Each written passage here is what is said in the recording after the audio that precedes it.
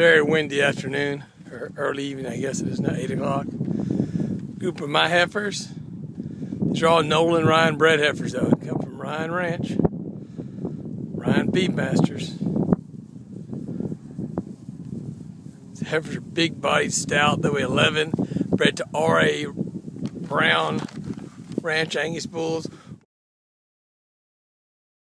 Just deep, boggy, bodied, soggy just really the cow making kind. Obviously, y'all know who Nolan Ryan is. Great on the baseball mound, marketing tender age beef, developing a tremendous herd of Beefmasters, obviously putting together a great baseball team in Texas Rangers. So it's a wearing this in our brand is a, a show of excellence of, of genetics, of hard work, and like in every endeavor Mr. Ryan does. Tremendous group of 23 heifers. I mean, they're just so uniform, so deep rib, so practical. I mean, every there's not. I'm just videoing. There's 23 heifers here. They're all cookie cutters. All got tons of rib shape, body, natural thickness, just really cow maker. We see these kind, you know, hey, she doesn't wean off a 650 pound plus calf, very low maintenance, just breed back. Look at the flesh on these females, just just a depth of rib. Not fat, but just in good practical flesh. All the other heifers are walking off. Turn it. I'll get over there and head them off with the four-wheeler, but uh, they're all just the same type of heifer. Just tons of rib, just functional, broody, broody, broody. Some really some great cow making kind. Again, there are heifers. They're six to eight months bred. Beautiful.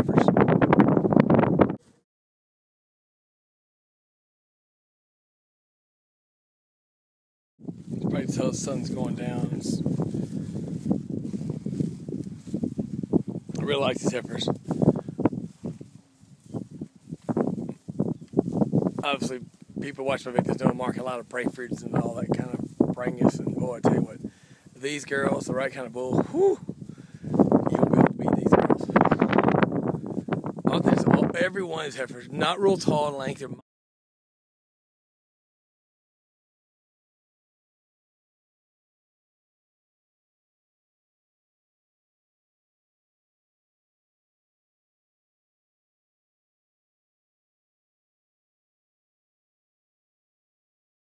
predictable beef bash genetics, functional beef bash genetics.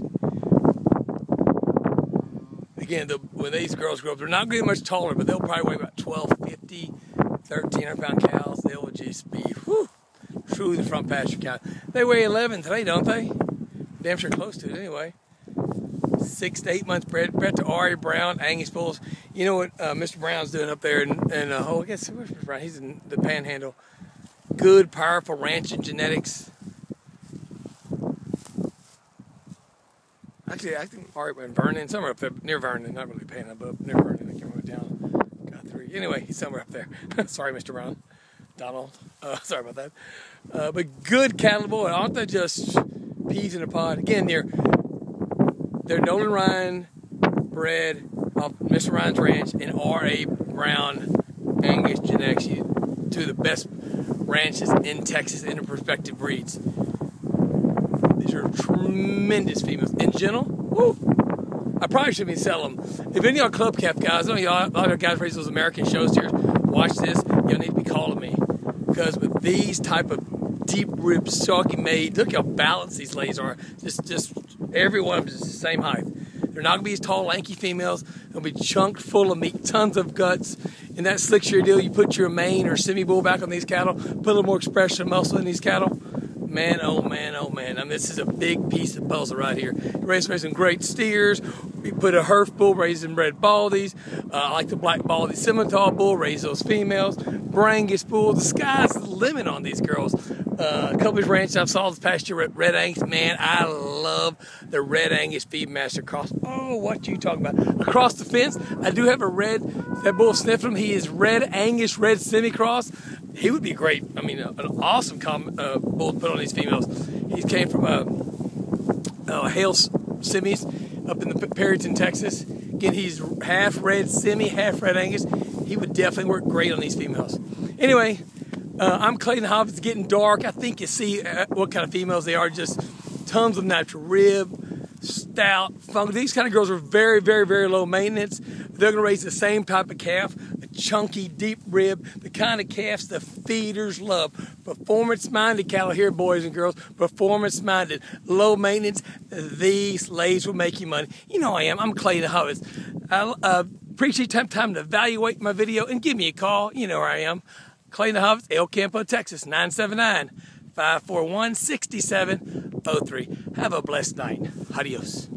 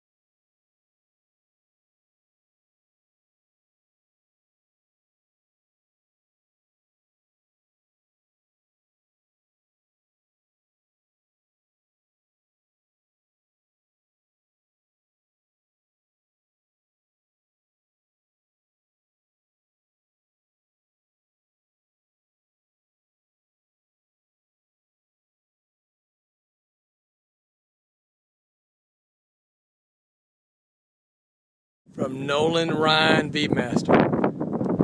Raised on his ranch, his genetics. Bred to R.A. Brown, low birth weight Angus bulls. Babies knock on a door, they're awesome flesh. It's really some cow makers here, boys and girls. Really some cow makers. There's not a hole in this group, guys. There's not a hole. They're all just cookie cutter good, aren't they? Cookie cutter good indeed. I sell lots of cattle that I talk about and explain, but these cows sell themselves, guys. I, I to shut my mouth and show you the cattle. They're good cattle. I'm trying to show you every one. So you don't, maybe in Florida, maybe in Kansas, maybe in um, California, Louisiana. You don't have to come here to High. Here's they are. They're right here.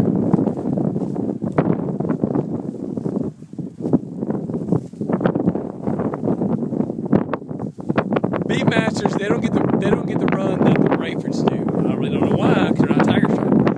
But in the day, the right kind of bull, I'll put these against F1 Brayford cattle any day of the week. And again, I sell I've sold 300 Brayfords the past 10 days. I'll put these against any, a good Beefmaster cow on the right kind of bull against any F1 Brayford. My opinion. Again, there's a couple. There's one ranch saw a month ago. I sold some Beefmaster Red Angus cross cows. Oh my gosh, they're awesome. And Jill, these cattle are gentle, aren't they? I just jumped in the mule. It's getting dark. Got right amongst them. Video these 23 big-bodied, functional Beefmaster cattle. Thanks, time evaluating the video. Always like feedback. If you think I'm doing a good job or if I'm doing a terrible job, please call me. Let's talk. But I do appreciate taking the time to evaluate my cattle. Have a blessed day.